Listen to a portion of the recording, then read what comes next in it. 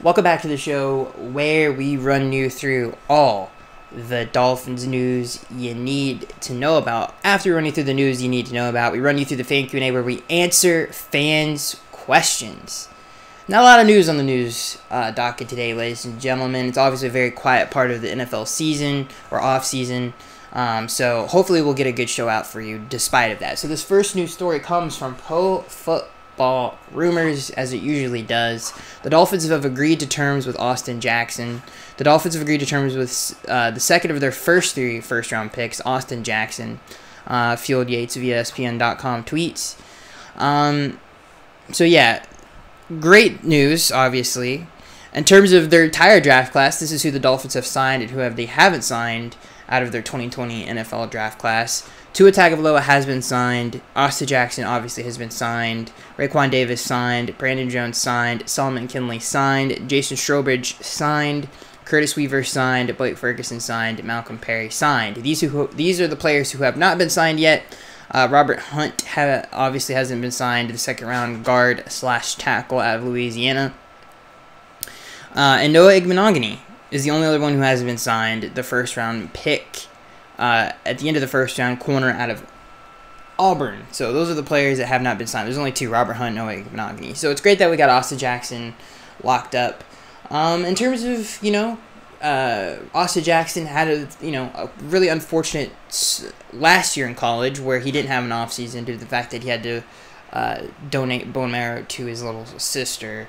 Uh, and it's kind of similar situation now where he's not going to really have a normal off season in the NFL. A lot of these rookies won't. So it's kind of a really misfortunate, just a lot of misfortune uh, to the start uh, of both seasons for him the last two years. So that kind of sucks. He's a young player, comes from a really good lineage of USC tackles, though.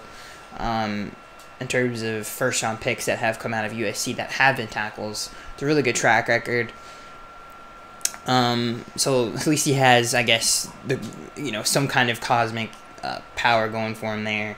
Um, he's a very talented player. Obviously, got like I said, got a, got off to a slow start to his college season before he was drafted. Then really started to kick the tires up again as the season went on. Started to get his feet under him, uh, and it sucks that he's kind of having the same kind of has the same circumstance uh, circumstances now where it's it's gonna be weird how this offseason is gonna because you I you know rookie minicamp would have already happened I believe. So it sucks that they're not gonna have a normal offseason especially with the huge draft class that we have.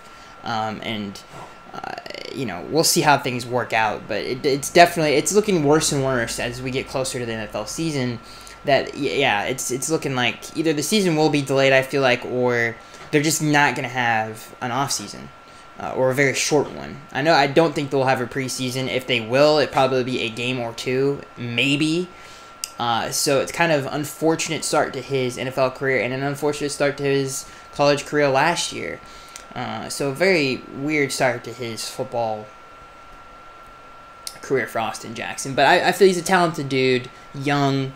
Um, we'll see how far he, how fast he gets into the starting lineup. I hope it's fast he's obviously the most talented guy on the roster at that position, and he obviously plays a very important position.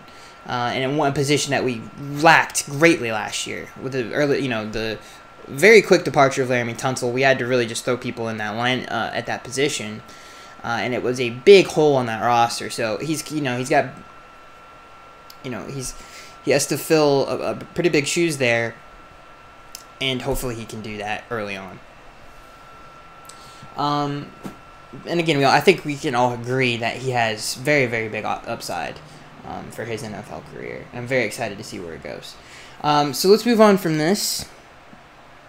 Um, let's move on to this new story that comes from the Sun Sentinel. Uh, it actually comes from Omar Kelly. Uh, Dolphins Tua Tagovailoa begins working with doctors and trainers at Davies uh, at the Davie team facility. Um, the Miami Dolphins which is great news. Um, I don't know how much we really want to read into this. Uh, but it's nice that he's already started working out in the facility, um, which is good news. And we actually have some news off of that. This comes from Sports Illustrated. Um, and this is Tua Tagovailoa's health status. The Dolphins haven't been able to get a first-hand look. Okay, hang on. Maybe this is the wrong one.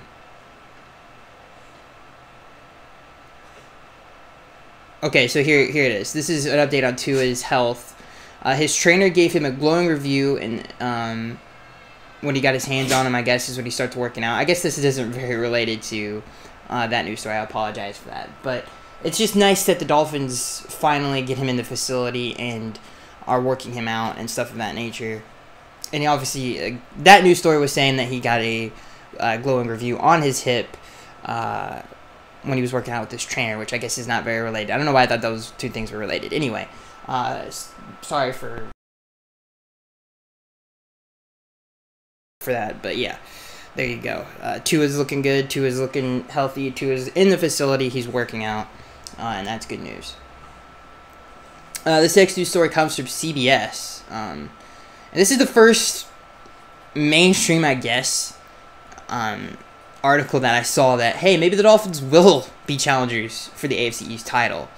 Um, and this comes from Marc Sessler of NFL Network, who is the only one I've ever seen, and I thought this was relevant because this is the only guy analyst that I've seen actually think, oh, these guys actually have a chance.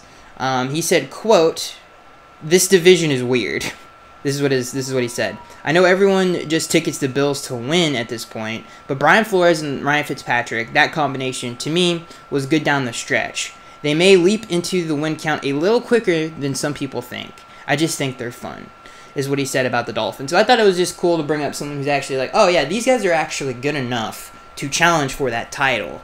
And I bring up a lot of examples last year of you know, and again we went five and four down the stretch. We beat a lot of good teams in that um, in that five and four stretch. We were scoring a lot of points. Our offense was top ten in the league. Um, it was the best part of the team. That position, the offense got better with the influ- uh, the the the uh, influx of offensive line talent um, into that room, and hopefully that um, positional group of the offensive line gets better because the sky is the limit at that point. Really good receiver core, really good t- uh, receiving tight end Mike Gesicki, uh, and obviously Ryan Fitzpatrick played very well last year for us. So it's just I think it's a bright future for this team. The defense got significantly better. We don't even have to get into it. Not to mention how tough we played our AFC East opponents. We should we should have swept the Jets if it wasn't for the refs last year. Uh, even though they had the better team at the time, um, we still we should have still should have swept them. Um, if it wasn't for one of the dumbest flags of the year last year, we played the Bills very tough last year. Um, even though they had obviously a 10 and 6 team and we weren't, you know, we just didn't have that kind of firepower. Um, and obviously we beat the pa- the Patriots in Gillette. So when you look at our AFC's track record last year, it's like okay, well they had this roster that was not very good, and everyone in that division had a better team at the time and somehow this coaching staff was able to put together a product that was competitive uh, even though it might not show it. If you watch the team last year and especially down the stretch and you watch them against afc east divisional opponents it was close and uh, we still did damage despite the fact that we had lesser a lesser roster. So um, you know, I think all of those things, and not to mention the fact that we were we greatly improved from last year uh, with our roster and really improved it.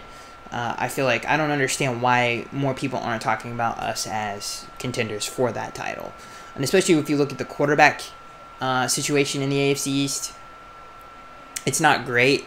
Uh, Sam Darnold is overrated. We've been through this a million times. Josh Allen, I'm not gonna hate on Josh Allen too too much, but you know he obviously has a lot to prove in terms of a passer. Um, you know, Jarrett Stidham hasn't even played a regular season game yet, and he didn't really look all that great in preseason, despite what other people think. Uh, you know, I, I, I think that's a little overblown as well. So it's wide open. The division is wide open. There should be no reason the Dolphins shouldn't be able to at least challenge for that crown. And get and and I want to say this: people have brought up the hard schedule that we have. Well, everyone in the AFC has to play that schedule too. And in my opinion, they're not, none of those teams are that much better than the Dolphins. Uh, so and I think you could make a real argument that the Dolphins have the best pocket passer in the division. So I, you know, I don't, um, I just don't see any reason why they shouldn't uh, be able to contend for it. Uh, so uh, I, I think it's going to be a fun division, and I think the Dolphins are going to be significantly better than they were a year ago. So I just felt like that was a cool little thing to bring up. Cool, you know. I just I feel like it's not it's common sense. It's like the Dolphins are not that much worse than the Bills, in my opinion. Um, so yeah, ten minutes of news, ladies and gentlemen. Not a lot of news. Um, we do have a big topic, and there's some questions we have to answer related to this topic. Uh, and I did make it the thumbnail of the video, so I did want to get into it right now. I've, you know, I think there's been a lot of buzz. Um, not really. I guess maybe it's because of, you know, I don't know why this is getting so much buzz, to be honest with you. I don't care personally. Um, but you've seen a lot of pushback on Tua, and especially with this Chris Sims things that, you know, he ranked him 40 and he actually had Jarrett Stidham uh, over him. I just wanted to give my quick opinion before we get into the you name. The one issue that I have with the argument against Tua is the talent that he had at Alabama, um, which is insane to me. And the argument is that if you put Justin Herbert or Jarrett Stidham in that role, they would have done just as good. My counter to that is they wouldn't have ran the same offense for those guys. I think they still would have been a run first team I don't think they would have opened up the offense like Nick Saban did for Tua. I don't think they're the pocket passers that Tua is. I don't think they're as accurate as Tua is. I don't think the results would have been the same in such a short span that it was for Tua. I don't think neither one of those guys could have come off the bench against Georgia in the national championship game and played like Tua did. I don't think they're as good as Tua. So when people say that, it's, it's, like nobody argues against it either, which is weird. And I guess that's not really what Chris's show is about. And I love Chris Sims. I think he's great. one of the best. The, to me, is the best show about football. It's not even close, in my opinion. It's it's the most in depth. It's the most well thought out. It's the most information you're gonna get. You learn a lot about the game watching a show. Uh, but I do disagree with him on that. I don't think if you put Jarrett, uh, Jarrett Stidham or Justin Herbert in that offense, number one, they would have changed the offense for them like they did for Tua, and number two, they're just not the pocket passer that Tua is. Um, I just don't believe that. And then the other argument against Tua is, well, he had all these first round receivers. Um, and people bring up uh, Henry Ruggs and obviously Jerry Jeudy and Donovan Smith and, J- and, and Jaylen Waddle. And, and I don't even bring Joe Burrow into this. I just want to focus on Tua. Because obviously Joe Burrow had Ja'Marr Chase, and obviously I had uh, Edwards-Helaire, and he had um, uh, Justin Jefferson. And he, so he had a very good offense as well. But I want to get into the Tua thing. I've watched every snap that Tua has taken in Alabama. And I think I can confidently say that I don't know if Jaylen Waddle is going to be a great receiver on the next level. I don't think he's a better receiver than than Jerry Jeudy is or uh, Henry Ruggs is or even Donovan Smith. I think Donovan Smith is a better receiver, but I don't think those guys are as talented as those two guys. I don't think they're. I don't think Donovan Smith is as talented as Ja'Marr Chase. I don't think. Um, really, any of the Alabama receivers are as talented as Ja'Marr Chase. Um, but I want to I want to specifically talk about Donovan Smith and Jaylen Waddle. I think Jaylen Waddle is a great tool, like very versatile type of a player. I don't know if he's a better receiver or he's even a first round receiver to the level of those guys were. That the first round receivers that we got this year. I don't think he's on those guys' level. I think Donovan Smith is probably the best receiver on that Alabama team right now. Um, but I don't think they're as talented as those guys. Uh, I don't. I, I don't think it's it's it's close, and I think a little bit of that credit goes to Tua of how he was able to really spread the wealth um, on that offense. He did a very good job of really everyone was involved in that offense due to the nature of how plays were called and the way he was able to read defenses and how he gets from read one to read four so quickly. He gives the ball and distributes it and spreads it out. You know, he's not one of these college quarterbacks that has like a Mike Evans with Johnny Manziel who's just really force feeding that one guy. He reads defenses, you know, he, he spreads the ball. So I just wanted to, you know, push back on that a little bit. That Tua, that Jarrett Stidham and Justin Herbert could have done what Tua did in Alabama. I don't think that at all. And I, mean, I think if you watch those players play, they're very different. All three of them are. Um, and they're not the they're nowhere near the pocket passer that he is. I don't I don't understand how and the, and I've we've already talked about it.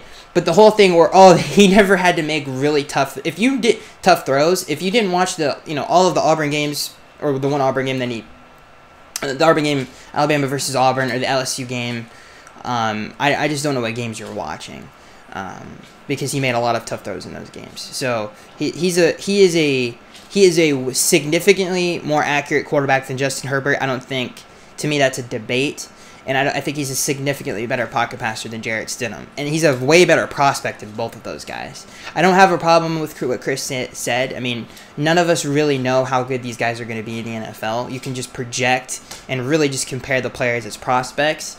So I don't have a problem with where he ranked Tua, but I'm very confident in saying that he is a better pocket, significantly better pocket passer than both of those guys, and I think it's ridiculous.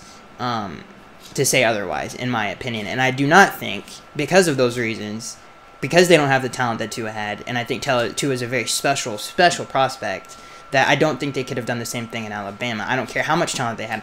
And again, I think, you know, Shannon Sharpe said something very, very true. Like, they've had great talent there at Alabama before Tua got there. They've had Julio Jones, they've had Amari Cooper, they've had, um, you know, Calvin Ridley, countless guys. I mean, OJ Howard they've had all of these great players there.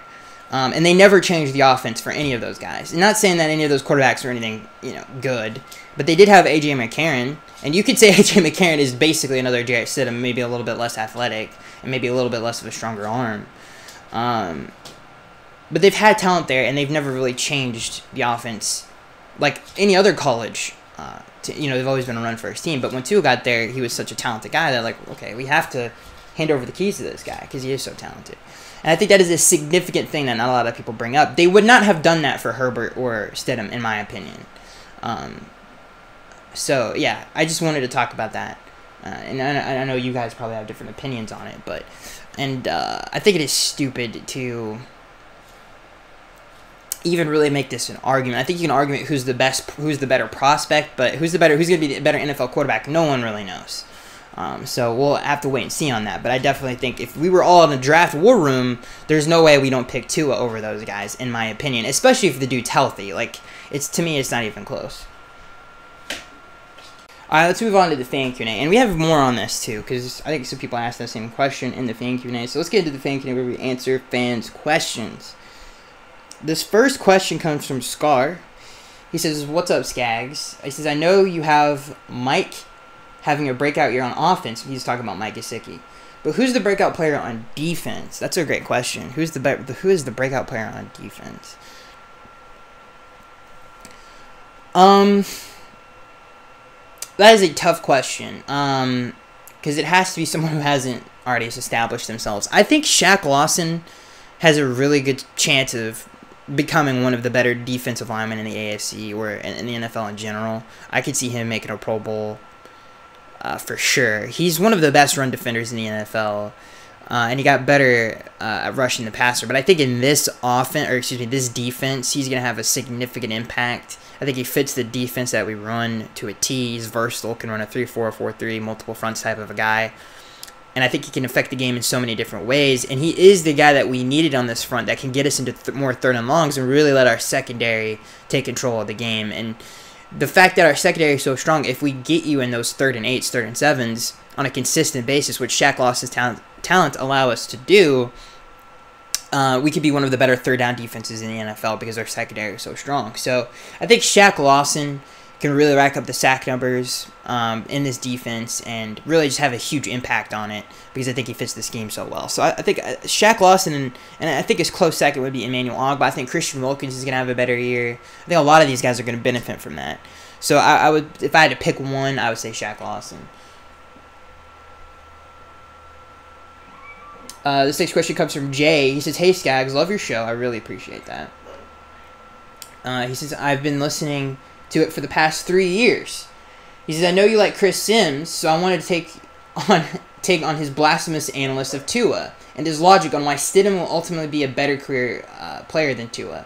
It's cool if you agree with him. Thanks for all your hard work. That means a lot. Thank you, Jay.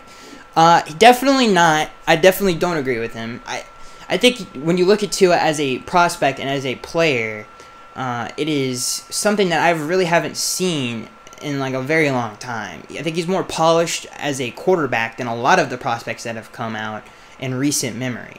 The way he can manipulate a defense with his head and his eyes is some, especially that early on in a career, I have never seen before. Um, I have never seen. I mean, even his first, he is meant to play quarterback. I think if you watch him play, it's like this dude is just really meant to play this position.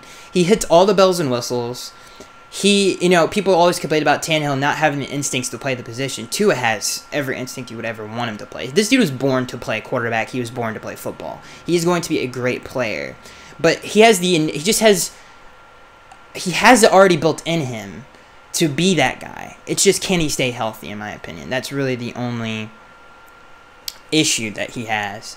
Um, or real hole in his game. Now, what uh, what Chris brings up is uh, Jarrett is a more physically gifted player. I think number one, Tua is a very underrated athlete.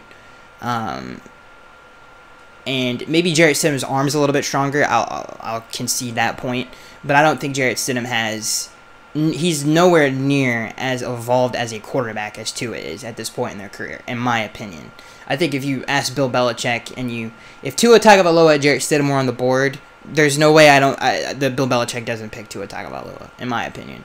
Um, I just feel like he's a better prospect. Um, his timing, his anticipation, his accuracy, like I said, his ability to manipulate the back end of a defense to create windows uh, for his receivers is something that you just don't see in young college quarterbacks.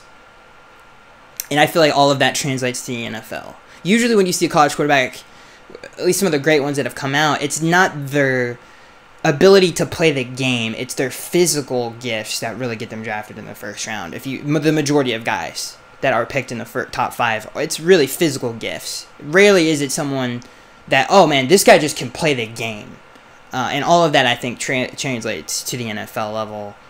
Um, so yeah, I just think he's a better prospect for those reasons. You don't see Jarrett Stidham do that. You don't see Jarrett Stidham read the field like Tua Tagovailoa. And I don't care if he had a weaker offense or not, uh, and a weaker offensive line. He still doesn't show those same gifts. He still played weaker college teams. He's still Auburn. He still was on Auburn. He still played weaker teams, and he still didn't put those numbers up. And he still didn't show the ability to do what Tua did uh, as a quarterback. So I just feel like he's a better prospect. Uh, which is a great question, Jay. Uh, this next question comes from SM. He says, Mr. Skaggs, I actually anticipate your stream every Monday. Thank you. My question is, what players that were on the team last season won't make the cut this year? Thank you, SM. Um, very much appreciated. Obviously, always giving out great questions. Uh, what do I think? Who do I think is not going to make the cut this year? Um, um, man, that's a tough one. Uh, most of the guys that we, you know, played last year, especially on defense, definitely won't make the cut this year. Um, oh man, that's a tough question. Uh, I would say that I think Kalen Ballage, I, I could see not making the roster because Myles Gaskin and Patrick Laird played very, played better than he did last year, and um, I could see those guys because again, remember we signed Breida and we signed Howard. That's two slots are there already, and I know those two are making the roster. So who's really going to fill in behind them? I think Laird is a lock. I think what he brings to this offense and his unique. I really want us to try to move him at slot receiver, but I don't know if that'll ever happen. But what the, some of the things he can do coming out of the backfield is very like Danny Woodhead and Shane Vereen, those type of running backs. Uh, he can really give a, give us that element in this offense. So I think what he brings to the team um, is unique. Um, and Myles Gaskin is basically just another guy, uh, another running back. Really, I don't think he's as gifted as a receiving player. So I think it's gonna be tough for Kalen Ballage. He's really got to be consistent in games. I think to make the roster. I think it's really gonna come down to preseason uh, who the running back depth chart is gonna be. So I would say Kalen Ballage is definitely on the hot seat.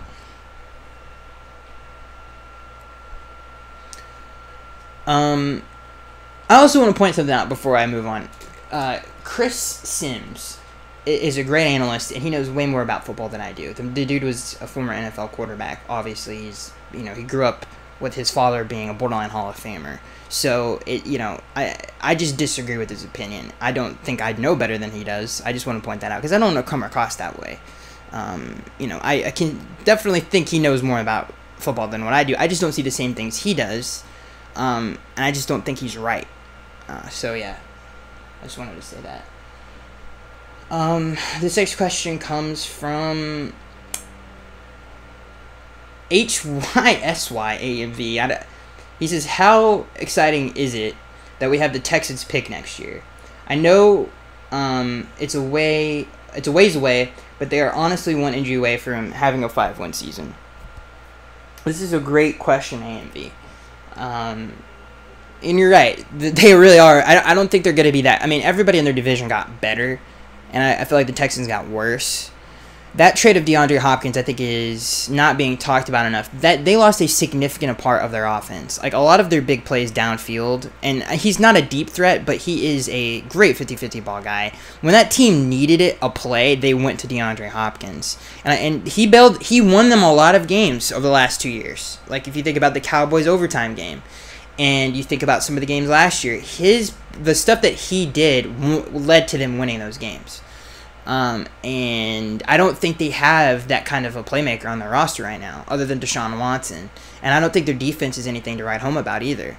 So they have a lot of issues on that team, and I, I, especially offensively and defensively, I feel like that I just don't see them. They definitely didn't get better, and I feel like that division is tough enough. And I feel like now that everybody's kind of got their bearings in order, especially with the Colts, the two strongest teams in that division right now are the Colts and Titans, and the Jaguars got better as well. And Minshew is no slouch, so I feel like that Texas team still they still have by far the best quarterback in that division. Um, so that gives them a leg up on some of the teams in that division. But I feel like the teams as a whole, you can make an argument that they're third right now, and um, a very strong one at that. So yeah, I, I think you make up a great point. And, and if let's say Deshaun Watson miss, misses like six games, they're done. Like he, he can't miss any time at all, or that team is done. Um, so yeah, you make a very good point. Very very very good point. That team got worse, and it's Deshaun Watson, and I feel bad for Deshaun. And, and you know you hate to see this with younger players where they, they like their poor their team is poorly built around them and their career just gets wasted for like this this could be one of those years that it's just like, all right, this is a down year, and you don't want to have that year with the with a quarterback that is like Deshaun Watson, who is in his prime. It's like this is the time to continue to build and not take away, and I feel like that's what the Texans are doing. All right, this next question comes from AMV again. He says, "Hey Skaggs, love the show. Really appreciate that, AMV." He says, "What is Chris smoking that would have, make him rank Taysom Hill, Justin Herbert, Dwayne Haskins, and Jarrett Stidham over Tua on his top 40 quarterback list?" I think this is absolutely absurd. Your thoughts? I mean, I, I just given, uh, you know, a lot of my thoughts on that, and you know, uh, it is. I just feel, you know, I just disagree with a lot of the things that he said, and I, I really don't know how Justin Herbert is over Tua. I know that he's a physically gifted player.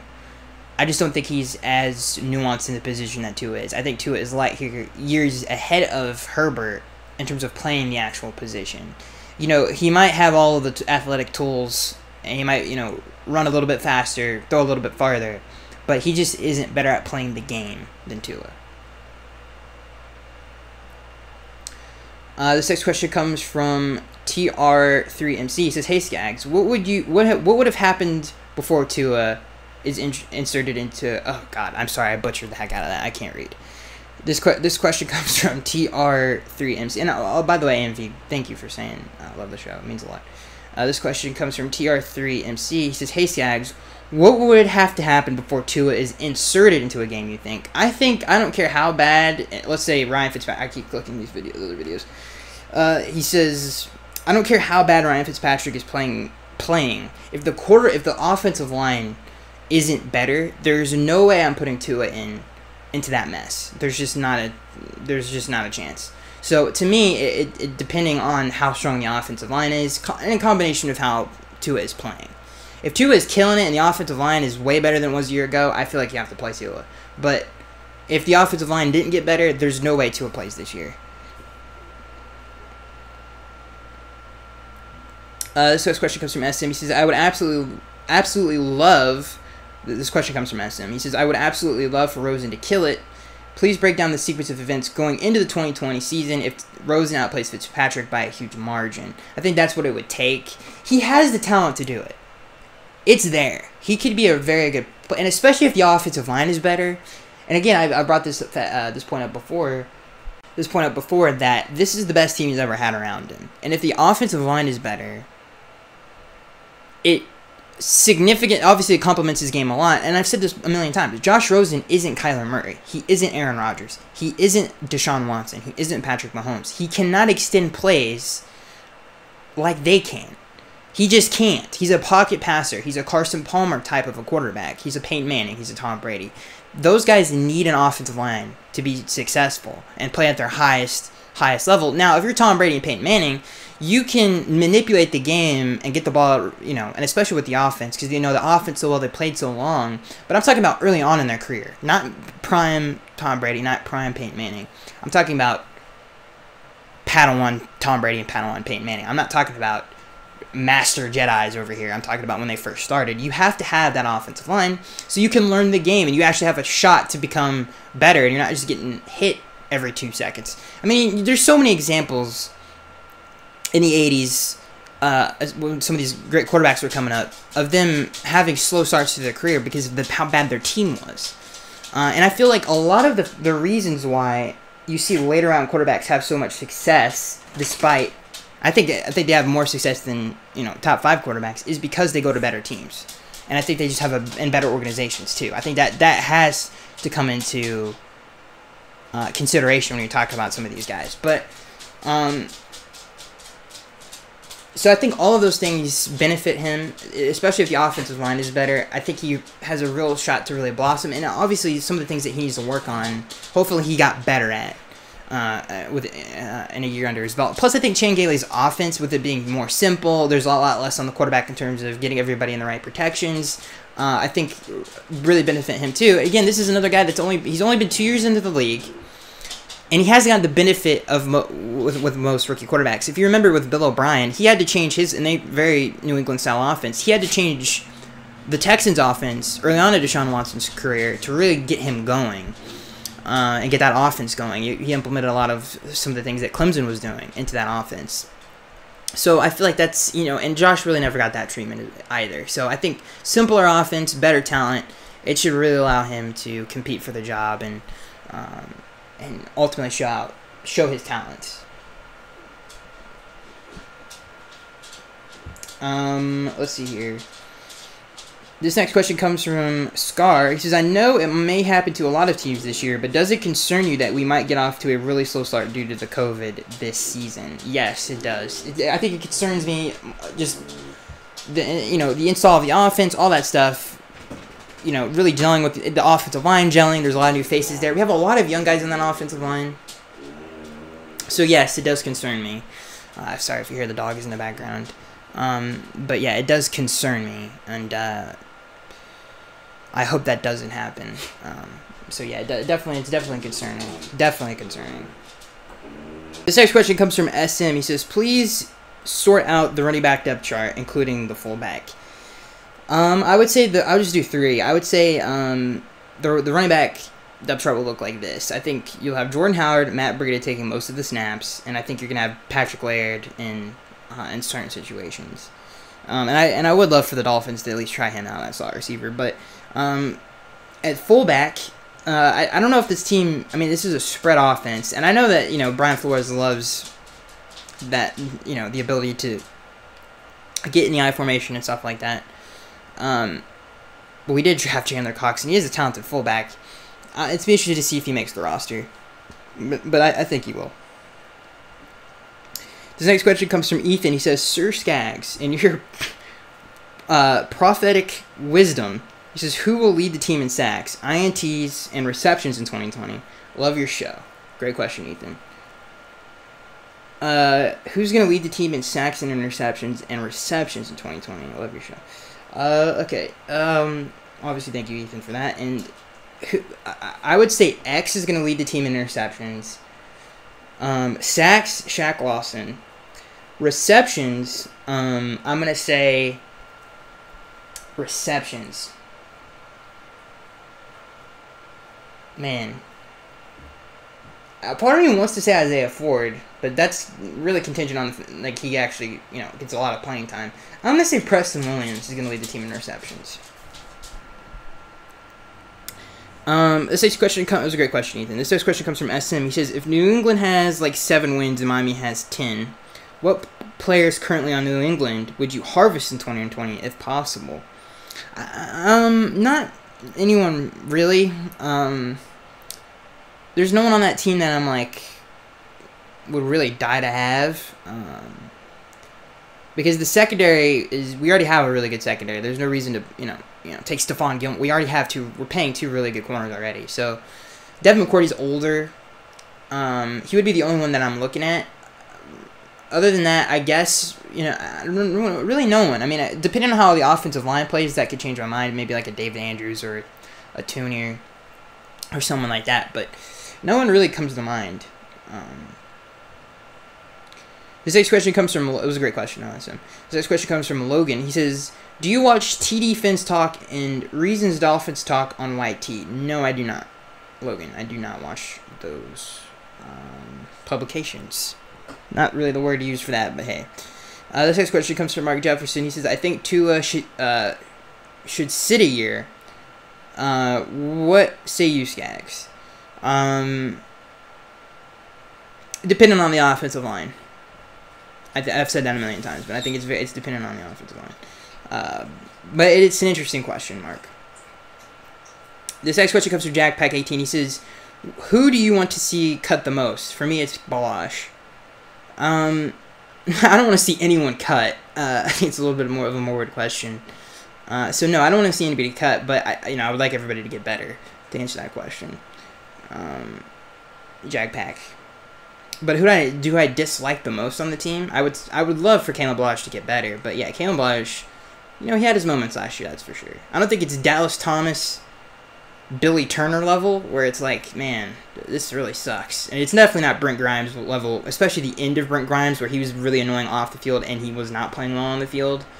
Um, it's not there, but it's it's you know. This next question comes from SM. He says why is there no one talking about Preston Williams and how injured he is? How is his rehab? Where is he on the wide receiver depth chart? Well, I think we did like a news story about that a few weeks ago, and it, apparently it's going well. So um, I think he said something along the lines that he should be ready for the start of the season. Um, this next question comes from Richard. He says Chris Simms is talking foolish. Now because he has nothing to say, I knew someone that knew the Simms family. They were telling me uh, their son was better high school quarterback than Matt Simms. The only reason Matt started was because of his father's name. Matt was supposed to be the savior of New York Jets. What a joke. Okay. Well, I don't know the credibility of that story, Richard. And uh, you know, a lot of people make excuses like that. Not just not you know, I could see the and I'm sure that's happened before with like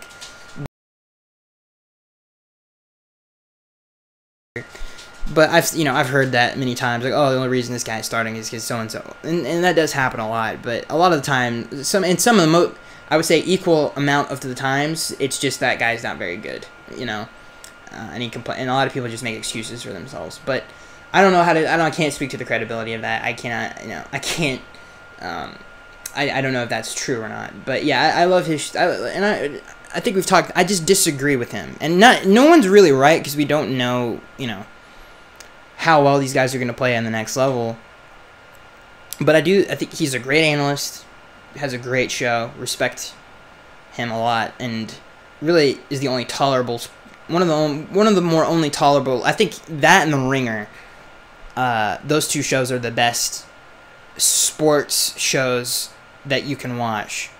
Uh, I don't really like the whole ESPN thing that they're doing, and I don't like I, I like Undisputed to a to a point, um, but most of it's really just entertainment. It's not really breaking down the game. And I feel like if you want someone to actually break down the game, really talk about the nuances of the game, uh, in, in, in an intelligent way, and not just shouting at each other, I think those two shows are the best that you can watch. So really respect the, that show, and I really respect.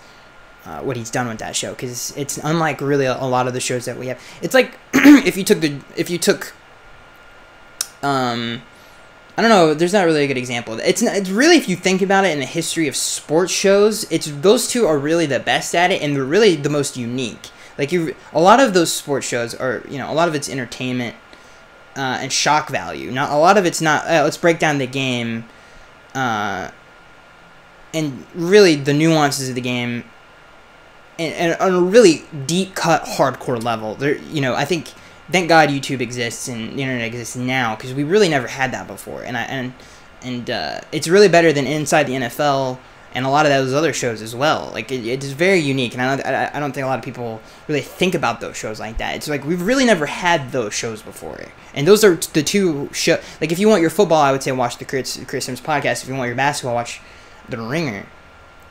And it, and it, it's really nice that we do have those shows because it's very it's very different than, than some of the other stuff that other people produce. Um, but um, yeah, so I, I, I love his show because of that. So you know, and I just disagree with it. And he knows way more about football than I do. So you know, and uh, so I, I do want to say that too. I mean, the man played in the NFL at a professional level. Um, but I, I, I just disagree with his opinion on on Tua. Uh, for those reasons, I just and I'm not going to talk about it anymore. We, we already talked about it enough. So yeah, that is the end of the show, ladies and gentlemen. It's a fascinating conversation, though. Um, it's a very fascinating conversation. Um, and you know, I disagree with a lot of his rankings on the quarterback uh, level. I, th- I think some of the things that he says about uh, why Tom Brady is the 15th best quarterback in the league, I disagree with as well. And I and I and I'm not a Patriots guy at all, and, and you guys know that. So uh, there's a lot of things I disagree with him about, but that doesn't mean his show isn't awesome, and he doesn't know what he's talking about. So anyway, that I am Skaggs1383, um, and that's it that's it for the show. Hope you guys enjoyed it. I listen. I I knew the show was going to be long because the lack of content to talk about, but we tried. You know, we tried. And I want to point out something else. You know, this show I really like to model after those shows. You know, I really do. I think those shows are because if we didn't, we would just have the ESPN uh, to contrast the other